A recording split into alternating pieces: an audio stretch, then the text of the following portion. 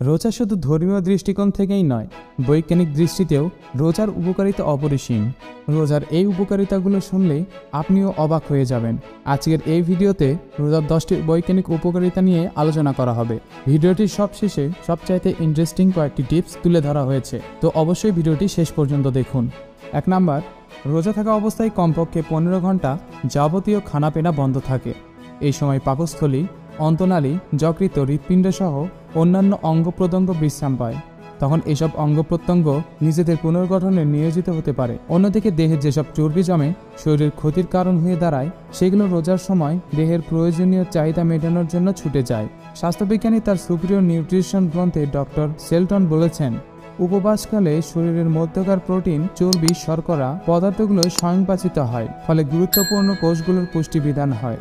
দুই নম্বর, নোবেল পুরস্কার বিজয়ী ঔষধ ও শল্য চিকিৎসার প্রখ্যাত ডক্টর অ্যালেক্সন বলেছেন, উপবাসের মাধ্যমে লিভার রক্ত সঞ্চালন দ্রুত হয়, ফলে ত্বকের নিচে সঞ্চিত চর্বি, পেশির প্রোটিন, গ্রন্থিসমূহ এবং লিভার কোষগুলো আন্দোলিত হয়। অভ্যন্তরীণ দেহযন্ত্রগুলোর সংরক্ষণ এবং হৃৎপিণ্ডের নিরাপত্তার জন্য অন্য দেহাংশগুলোর বিক্রিয়া বন্ধ রাখে। খাদ্যভাব কিংবা আরাম আয়েসের জন্য মানুষের শরীরের যে ক্ষতি হয় রোজা তা পূরণ করে দেয়। তিন ডক্টর আইজ্যাক জেনিংস বলেছেন, যারা অলস্য ও গ্রামের কারণে এবং প্রতিভোজনের কারণে নিজেদের সংরক্ষিত জীবন শক্তিকে ভারাক্রান্ত করে ধীরে ধীরে অন্তহতার দিকে এগিয়ে যায়, রোজা তাদেরকে এ বিপদ থেকে রক্ষা করে।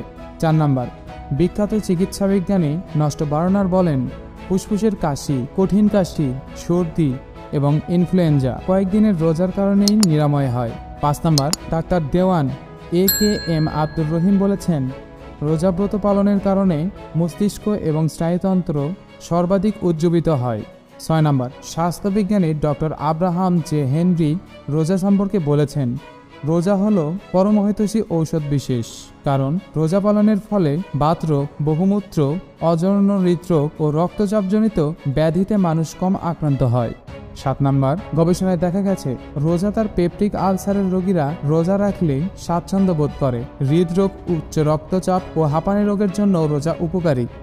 আট নাম্বার, ডাক্তারদের মতে রোজার ফলে মস্তিষ্কের সেরিবেলাম লিম্বিক সিস্টেমের উপর নিয়ন্ত্রণ বাড়ার কারণে মনের অশান্তি, দুশ্চিন্তা দূর হয়, যা উচ্চ রক্তচাপের জন্য মঙ্গলজনক। ডাক্তারি পরীক্ষায় দেখা গেছে একাধারে পনেরো দিন রোজা রাখলে বহুমূত্র রোগের অত্যন্ত উপকার হয়। নয় নাম্বার। কিডনি সমস্যায় আক্রান্ত রোগীরা রোজা রাখলে এই সমস্যা আরও বেড়ে যাবে ভেবে রোজা রাখতে চান না। অথচ আধুনিক চিকিৎসা বিজ্ঞানীরা বলেছেন, রোজা রাখলে কিডনিতে সঞ্চিত পাথর কণা ও চুন দূরীভূত হয়।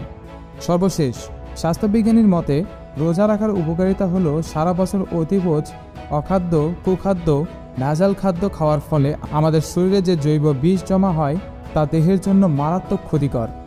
এক মাস রোজা পালনের ফলে তা সহজেই দূরীভূত হয়ে যায়। তো বন্ধুরা, জানতেই পারলেন রোজার উপকারিতা কতটা। আজকের ভিডিও এই পর্যন্তই। ভিডিওটি বানানোর মাধ্যমে আমি যদি আপনাদের একটু উপকার করতে পারি, তো ভিডিওতে লাইক, কমেন্ট করার পাশাপাশি সাবস্ক্রাইব করবেন দয়া করে, যা আমাকে পরবর্তী ভিডিও বানাতে আরও উৎসাহিত করে তুলবে। ধন্যবাদ।